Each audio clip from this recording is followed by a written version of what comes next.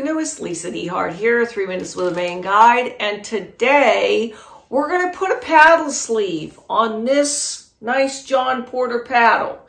Um, I've got the example right here. This is my paddle. And this is just a leather paddle sleeve.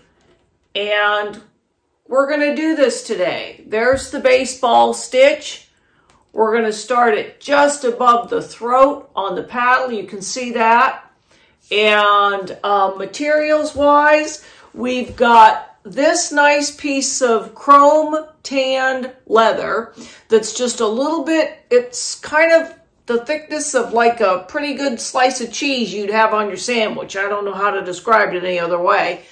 We've got um, the holes already punched in there. That helps a lot whenever you're working with leather. You can do that with a hole puncher. You can just pre-do it with like a little uh, needle or whatever. And then we're going to start with a waxed cotton thread and two Glover's needles. Hope you can see that. A waxed cotton thread and then just two generic Glover's needles. I give it a little twist so that they don't fall off. And I'm going to tilt the camera down and we're going to show you the details of how to do this baseball stitch. Now, I got this mat on my lap so you can hopefully see what I'm doing. We're going to start at the top and we're just going to go through both sets of holes. There's a lot of wiggle room, so don't get all fixated on where this is, is on the paddle, especially until you get like nearly through the process. So we're going through both. Okay, this is the, the entire nature of the baseball stitch. From here, you're going to make an X, okay? You're just going to make an X and you're going to go in the seam and out the eyelet, okay? In the seam, out the eyelet, in the seam, out the eyelet, okay? And you're gonna pull it tight. Then you're gonna make an X, okay? And then you're gonna go in the seam and out the eyelet. In the seam and out the eyelet. Can you tell I say this to myself every time I do this stitch? Because it does help you. So then, next stitch, make an X. And we're going to go in the seam and out the eyelet. The way this bollocks is up is you don't start in the seam. We're going in the seam and out the eyelet okay? Then we're going to make, we're going to pull it tight, we're going to make an X. Don't, this will all tighten up, okay? Don't worry about the wiggle room that you can obviously see in it, okay? It's all going to tighten up and work out. And then we're going to go, we've got our X, we're going to go in the seam and out the eyelet. And this is the same baseball stitch, everybody that's used if you ever have to do this to your canoe, okay? And that's why, because when you make that cross, see how it all pulls from the inside and any seam, uh, that protects it and it all pulls from the inside. Okay, and I'm to go ahead and finish this up and then we'll, I'll show you how to finish it off.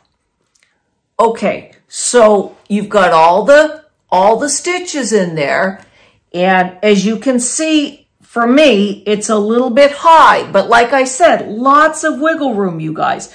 So you're just going to push it to the throat. Okay, I've done so many of these for myself. I know where this has to go on my paddle. Um, so, and then, then you're going to start working this and moving it and getting it nice and tight and you're just going to start squeezing it and pulling it and squeezing it up and pulling it and getting that all nice and tight. And then you're going to finish it off with something as simple as just a square knot, okay?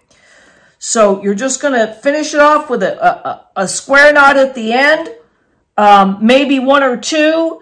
And it's, see the little gap there? You're going to want that because that you're going to get it as tight as you can. And the little gap there is still okay because this is going to get wet and it's going to, it's going to, the leather's going to stretch. Like tying your shoes, okay?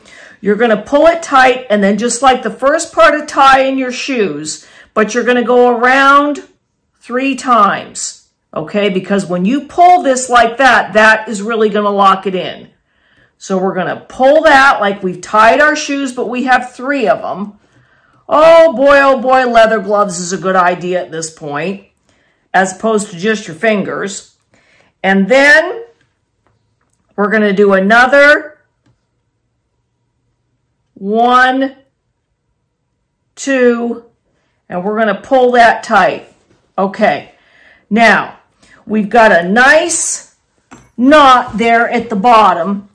Um, what I like to do is I like to finish these off and burn them with a lighter. So there are the ends finished and burned off with a lighter.